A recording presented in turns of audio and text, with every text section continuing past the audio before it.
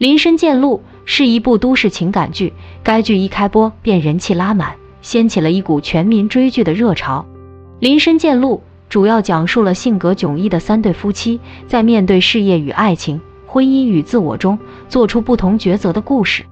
在剧中，靳东饰演的林少涛、贾宽饰演的贾宽以及曹磊饰演的周一鸣都魅力十足，为林深见鹿提供了很多有趣的看点。虽然三位男主平常老是互损，但是在关键时刻，他们却重情重义，帮助彼此一起度过了劫难。那么，性格迥异的三位男主最终会迎来怎样的结局呢？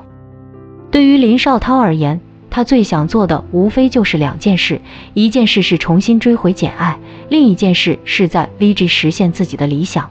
于是，林少涛便答应他的师傅了，重回 VG。而简爱也在刘映霞的推荐下，阴差阳错和林少涛进入了同一家公司。虽然林少涛能力出众，思想活跃，看似通透，但是他太过重情，很难在 VG 顺利推行自己的改革计划。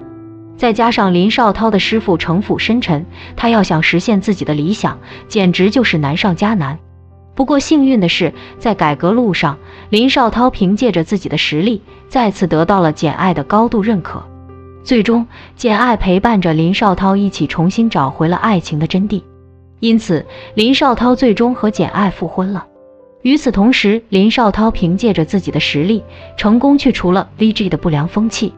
只可惜最后安迪还是抢走了林少涛的功劳，也算是有舍有得。而贾宽是三位男主中情商和智商都欠佳的男子，因此林少涛和刘映霞都在想方设法帮助贾宽脱离困境。不过，贾宽虽能力出众，但很有自知之明。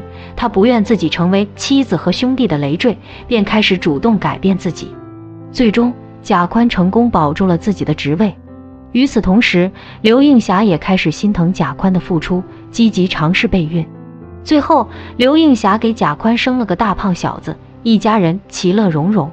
与贾宽相比，周一鸣的结局太过悲惨。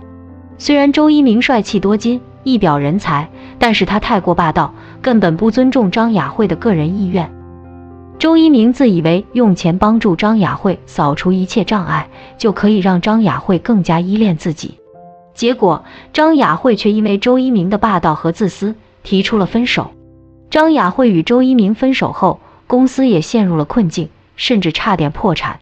还好有林少涛的帮助，周一鸣才渡过了难关。而张雅慧离开林少涛后，事业上变得蒸蒸日上，最后两人都在最好的时刻再次重逢。尽管两人依旧相爱，但是毕竟出现过裂痕，两人最后只能选择祝福对方。